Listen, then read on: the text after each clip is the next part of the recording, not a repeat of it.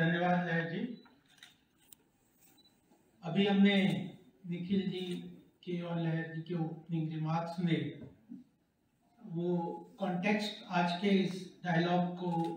उन्होंने बहुत अच्छी तरह से रखा है और मुझे लगता है कि जैसे जैसे हम इस चर्चा को आगे बढ़ाएँगे, वह इसके विभिन्न पहलू हमारे सबके सामने आएँगे और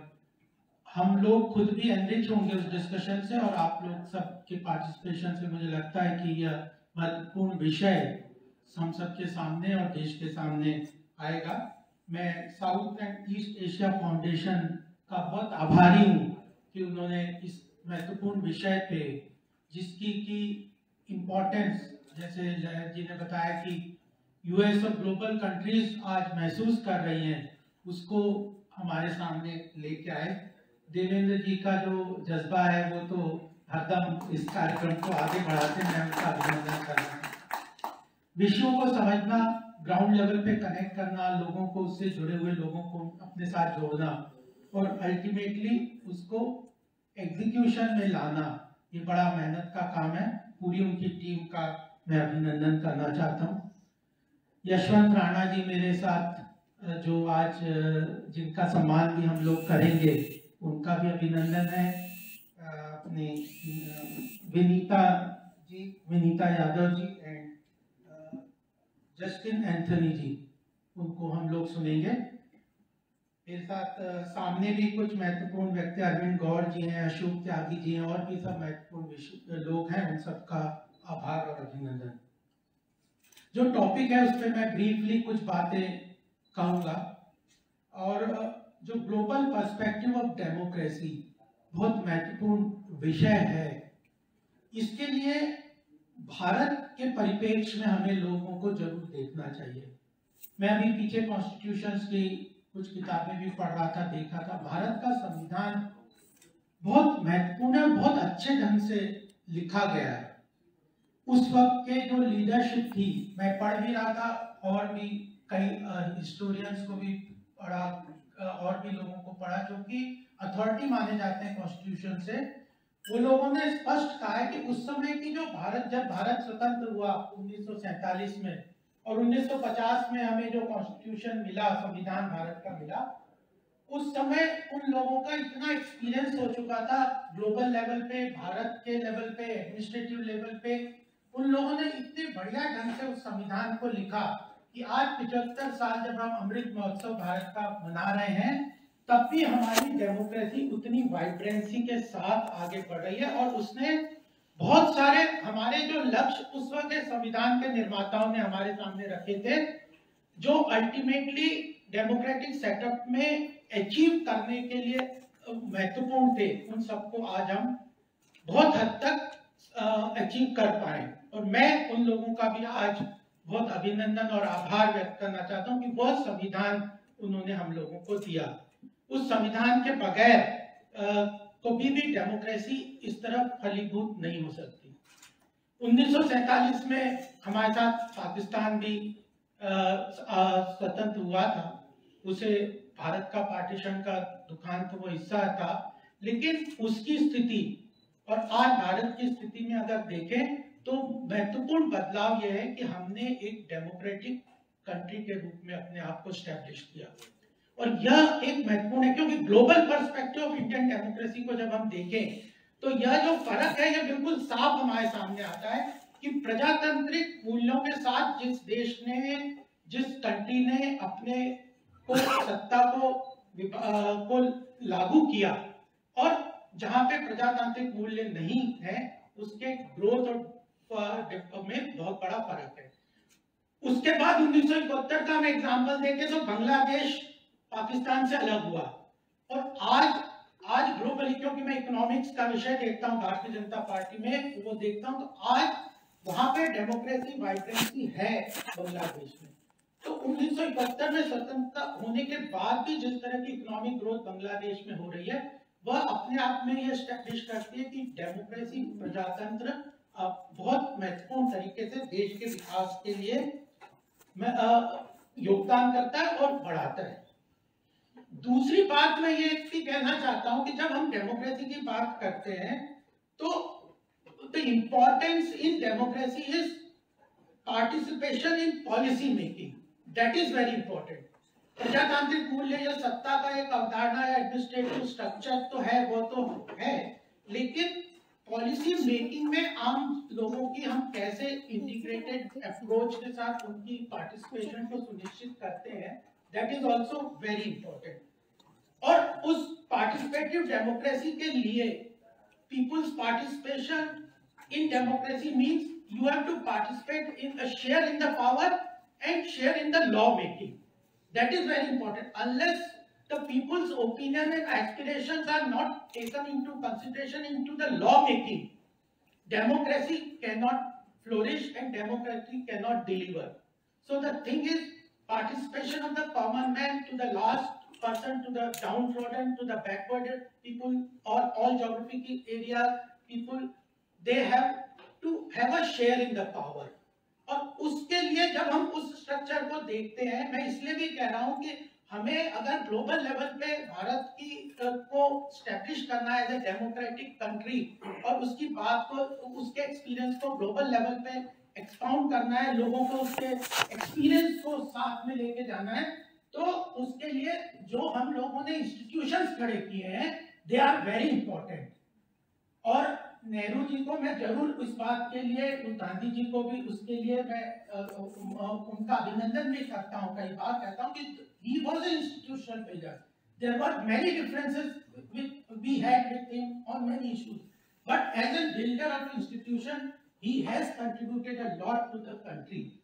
चाहे सरदार पटेल हो, महात्मा गांधी हो बी आर अंबेडकर हो जो और मौलाना आज़ाद आज़ाद है। इन सब लोगों ने जो इंस्टीट्यूशन बिल्ड किए, वह बहुत महत्वपूर्ण थे और उसी ने वाइब्रेंसी हमारी डेमोक्रेसी में लाई और आज हम उसके साथ सरवाइव कर रहे हैं। और ऐसा नहीं है कि भारत ने India did not see conflicts into the at the time of 1947 India even जो एटली थे, जो यूके के प्रेसिडेंट थे ही ऑन रिकॉर्ड सेड कि India will not survive as a democracy for more than 10 years क्यों? बिकॉज़ इंडिया इस सारे उस लोग के पैरामीटर्स थे they had created a big challenge for Indian democracy India was a poor country education penetration was low and even the highly we had highly diversified society चाहे religious belief को देख लो languages को देख लो culture को देख लो खान पान को देख लो ट्रेडिशन को देख लो India is a very diversified country तो these were very big challenges a poor country not very well educated at that point of time seen the subversion of more than thousand years by Mughal invaders and different invaders even British invaders उसके बाद uh, भी हम लोगों ने इतनी diversification को assimilate करते हुए आज भी become a very vibrant democracy and that is because the ingredients into Indian culture and tradition were very well entrenched. Democratic uh, जो हमारे यहाँ थॉट प्रोसेस है वह बहुत वेल एंट्रेंच थी और मैं इसलिए भी कह रहा हूँ कि प्रधानमंत्री जी ने भी अभी परसों अपने भाषण में उसमें उसको उद्धृत किया हमें डेमोक्रेसी और लॉ और कॉन्स्टिट्यूशन के लेसन विदेशों से नहीं सीखने पड़े। वो ठीक है कि हमने उनकी थॉट प्रोसेस को ब्रिटिश को और यूएस के एक्सपीरियंस को एसिमुलेट किया in making law and constitution etcetera but we have a long history of 2005 years where गणराज्य उस समय थे जो साम सात के कम्युनिटीज थी लिच्छवी कम्युनिटी थी जिसको गौतम बुद्ध जहाँ से बिलोंग करते थे, वहाँ पे एक रिपब्लिक्स थे। Everybody used to participate. So we had a strong tradition of democratic institution and thought process in the country. We did not need any lessons at all. तो इतने डाइवर्सिफाइड और डिफिकल्टीज के बाद भी हम लोग सक्सेसफुल इसलिए हो गए कि हमारे पास बहुत अच्छा हिस्टोरिकल बैकग्राउंड था और मैं एक दो बातें और कहूँगा क्योंकि मैं लॉ भी पढ़ता हूँ कॉन्स्टिट्यूशन भी पढ़ता हूँ और प्रधानमंत्री जी ने एक चैलेंजेस अभी सामने रखे हैं हमारे मोदी जी ने, कि धीरे धीरे जो न्यू टेक्नोलॉजीज़ आ रही हैं, वह जो है सर, वो those technologies have the capability of disruption disruptive चाहे वो सोशल मीडिया हो they have the potential of disruption अभी 18 तारीख को पार्लियामेंट में क्रिप्टो करेंसीज पे बिल आएगा क्रिप्टोज पे ब्लॉकचेन पे जिस तरह से आएगा we have long discussions on those on that bill ठीक है तो surely they can disturb any country and democratic process तो इस जो, इनकी जो डिस्ट्रप्टिव पोटेंशियल टेंडेंसीज है, उसको भी ग्लोबल लेवल पे हमें एक ग्लोबल इनिशिएटिव लेना है। चाहे टैक्सेशन लॉस हो, चाहे टेररिस्ट मनी का फ्लो हो, उन सब चीज़ों को। तो मुझे लगता है कि वह एक महत्वपूर्ण विषय प्रधानमंत्री जी हम सबके सामने रखा है। इस चीज़ों पे भी हम आगे डिस्कस कर सकते हैं, करना भी चाहिए। और अल्टीमेटली जो मैं ये जो जो कहना चाहता हूँ कि जिस चीज़ पे मैं विषय पे आपके अपनी बात को समाप्त करूँगा, वह है कि जो आज का विषय है वो महत्वपूर्ण इसलिए है कि Indian experience on democratic building democracy building democratic institutions etcetera है and bringing success to the whole process of economic all-round developments in economy politics have surely lessons for the global uh, global platforms arena uh, and countries to learn about और ऐसा और उस जब हम भारत के experience को देखते हैं तो उसकी हिस्टोरिकल एनालिसिस करना बहुत ज़रूरी है ग्लोबल लेवल पे। आप देवेंद्र जी इसको ज़रूर, इसके हिस्टोरिकल पर्सपेक्टिव पे, इस पे ज़रूर डॉक्यूमेंट ज़रूर निकालेंगे। मुझे लगता है कि जो भारत के उन्नीस की इतिहास के बाद, अभी जो पिछहत्तर वर्ष है, ऐसा नहीं है कि जो शुरू में मैंने जो चैलेंजेस बताए, उसको कैसे हमने ओवरकम किया कॉन्स्टिट्यूशनल लेवल पे कैसे ओवरकम किया, उसके बाद भी हमारे पास बहुत देश में चैलेंजेस आए थे। और उन चैलेंजेस को हमने कैसे मीट आउट किया it was the people's will that we were able to overcome there were severe challenges to democracy and there were many times that that time we could have got derailed on the process हमारे सामने मैं कुछ चीज़ें बताऊँगा which were serious challenges and we were able to overcome because of the participative democracy institutions and the collective will and decision making in the whole system. Mandal commission का एक बहुत बड़ा चैलेंज उस समय आया। मैं उस समय तो काफ़ी एक्टिव था। पोस्ट इमरजेंसी के बाद जब ये सारा उस, ये 1985 के आसपास था, वो था। दूसरा, मैं जो सबसे पहला चैलेंज जब हम स्वतंत्र हुए थे, उस समय आर्टिकल ऑफ़ एक्सेशन को साइन करने के कारण सरदार पटेल की जो हिस्टोरिकल कनोटेशन हैं वह भी एक बहुत बड़ा लेसन है for global we have not documented them as we should do British historians को जब मैं देखता हूँ they have been able to do a lot on the historical perspective हमें और करना चाहिए। मैं जस्टिस ऑस्टिन की किताब भी पढ़ रहा था तो उसमें मुझे लगा कि access to data data protection law ज़रूर हमारे सामने आ रहा है, but many of the archives and other files etc not very well available to historians and researchers etc we need more access to those uh, data and files and uh, those uh, analysis so that we can have better uh, writing of the history article of accession है फिर उसके बाद अभी article 370 को जो कि हमारे लिए डिसइंटीग्रेशन का एक बहुत बड़ा रीजन था उसको हम लोगों ने कैसे उसको ओवरकम किया इवन अयोध्या मूवमेंट 500 साल का पूरा आंदोलन था जिसमें कई लोग शहीद हुए। उस आंदोलन को भी 1992 का इश्यू ले लो, या अभी अयोध्या मंदिर का भव्य निर्माण हो रहा है, और भी काशी, विश्व और मथुरा के इश्यूज़ है। सब डाइवर्सिटीज को देखते हुए हम लोग कैसे उस चैलेंजेस को मीट आउट कर रहे हैं। फिर आर्टिकल कई बार आर्टिकल 356 जो यूज़ हुआ how the federal structure that we have adopted where whether it is there are conflicts between centre and the states whether it is cooperative federalism और competitive federalism ये सारे भी challenges we have been able to overcome और ultimately दो तीन चीज़ें और महत्वपूर्ण है। वह है, सबसे महत्वपूर्ण चैलेंज मैं आपके सामने रखना चाहता हूँ, वो कभी नहीं भूलना चाहिए, वह था 1975 का इमरजेंसी जब कांग्रेस और इंदिरा गांधी को देश और कभी माफ़ नहीं करेगा। मैं खुद भी उस समय तीन महीने जेल में था, आठवीं में पढ़ता था, तेरह साल का था। हमें जेल में डाल दिया। मैं यहाँ दिल्ली में जेल में था। मेरी माँ को हम तीन ही लोग परिवार में थे। मेरी माँ को तिहाड़ जेल में रखा था और मेरे पिताजी को नागपुर जेल में रखा था। तो वो 1975 का इतिहास हमें नहीं मिलना चाहिए। और अगर इंडियन डेमोक्रेसी की हिस्टोरिकल ग्लोबल पर्सपेक्टिव में अगर हम देखें तो globally we are appreciated for our democratic achievement लेकिन हमारे को जो मार्क मिलता है वो 98 परसेंट का है। दो परसेंट मार्क्स हमारे डेमोक्रेसी में कटते हैं वह है इमरजेंसी के कारण। अगर वहाँ पे कलेक्टिव लोगों का इतना ज़्यादा सामूहिकता से उस आंदोलन को खड़ा नहीं किया होता लोगों ने, भारत के देश की जनता ने तो वह इमरजेंसी के बाद हम लोग, हमारे यहाँ पे प्रजातंत्र नहीं होता। तो उस चीज़ को भी हिस्टोरिकली लोगों को जानना चाहिए कि एक बार जब पूरा डेमोक्रेसी को सपोर्ट करने की, इंदिरा गांधी ने कोशिश की तो सारा देश खड़ा होकर ये यहाँ तक उस उन्नीस अठहत्तर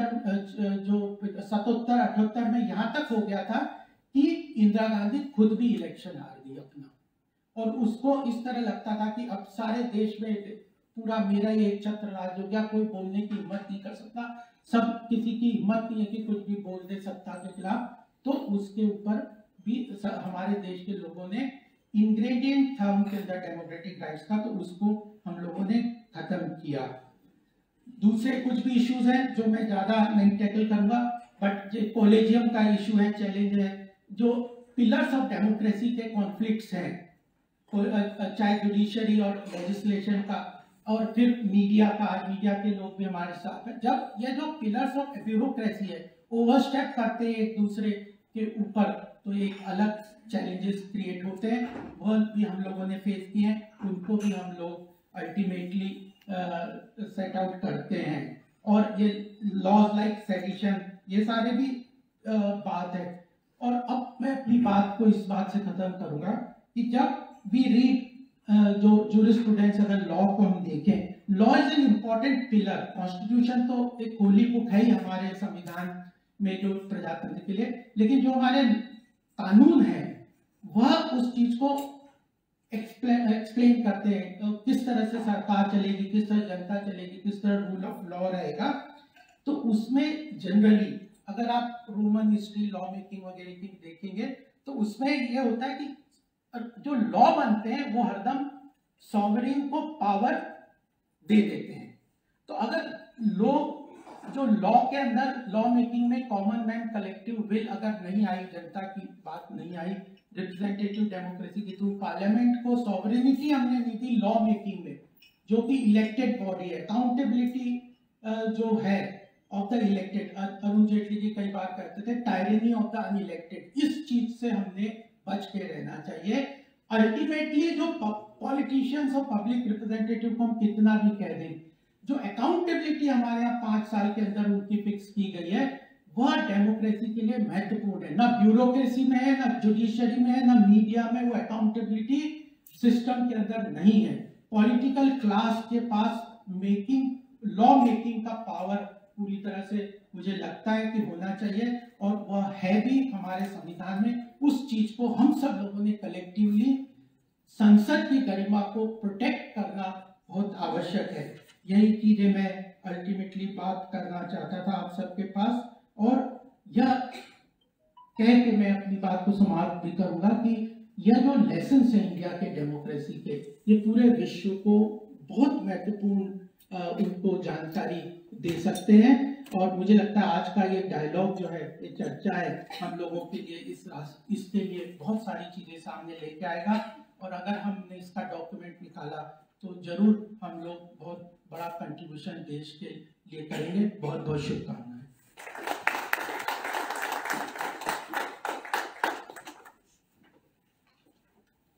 Thank you so much, sir. Um, that was indeed uh, a very uh, well-researched document that you just read out and thank you so much for pointing out those uh, discrepancies and the various challenges that we've had um, ever since India was formed as a nation and was declared a democracy. Um, sir, before we go forward, I'm going to